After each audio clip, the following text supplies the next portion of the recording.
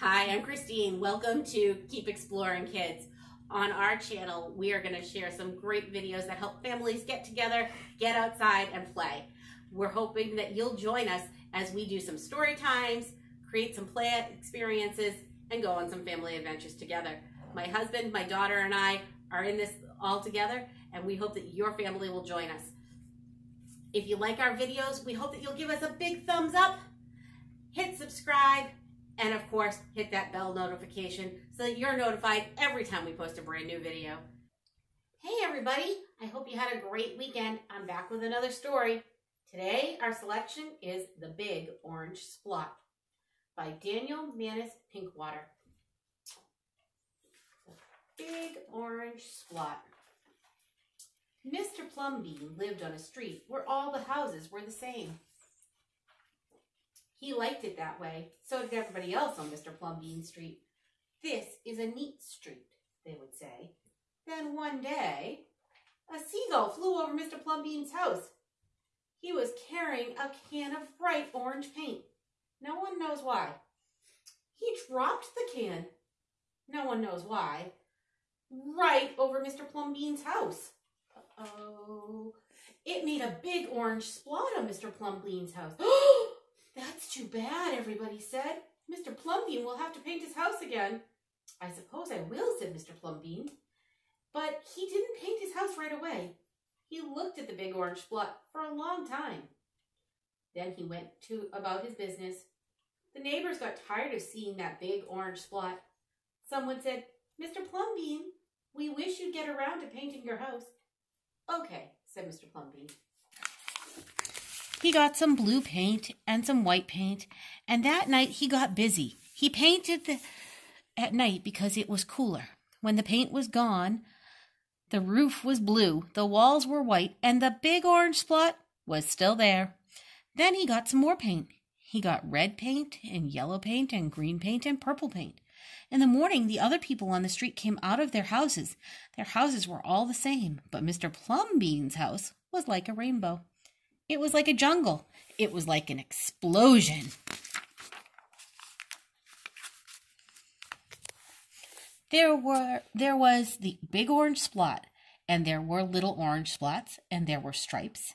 There were pictures of elephants and lions and pretty girls and steam shovels. The people said Plumbean has popped his cork, flipped his wig, blown his stack, and dropped his stopper.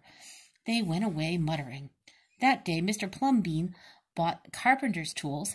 That night he built a tower on top of the roof, and he painted a clock on the tower. The next day the people said, Plumbean has gushed his mush, lost his marbles, slipped his hawser. They decided they would pretend not to notice.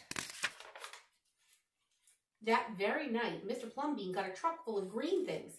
He planted palm trees, baobabs, thorn bushes, onions, and frangipanis. In the morning, he bought a hammock and an alligator.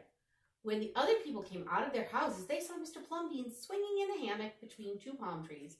They saw an alligator lying in the grass. Mr. Plumbean was drinking lemonade. Hmm, I like lemonade. Mr. Plumbean has gone too far. This used to be a neat street. Mr. Plumbean, what have you done to your house? People shouted. This is my, this house is me, and I'm it.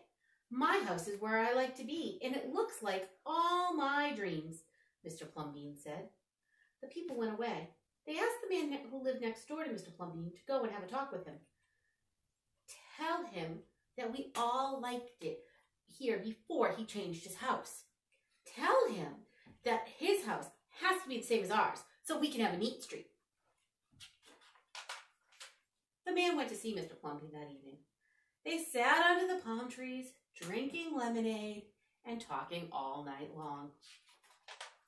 Early the next morning, the man went out to get lumber and rope and nails and paint. And when the people came out of their houses, they saw a red and yellow ship next door to the house of Mr. Plumbean. Huh. What have you done to your house? They shouted at the man. My house is me, and I am it. My house is where I like to be, and it looks like all my dreams, said the man, who had always loved ships. He's just like Plumbean, said the people. He's got bees in his bonnet, bats in his belfry, and nuts in his noodle. Then one by one, they went to see Mr. Plumbean late at night. They would sit under the palm trees and drink lemonade and talk about their dreams.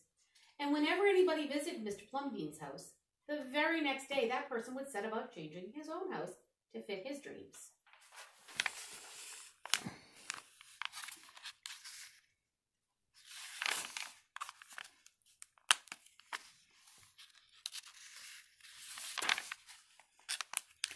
Whenever a stranger came to the street of Mr. Plumbean and his neighbors, the stranger would say, This is not a neat street.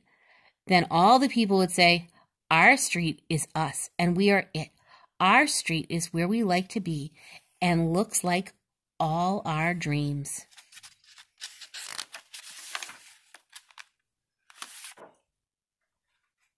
What are your dreams? Have you ever really sat and thought about what you'd like out of life or what you wish could be what was happening? I have a challenge for you.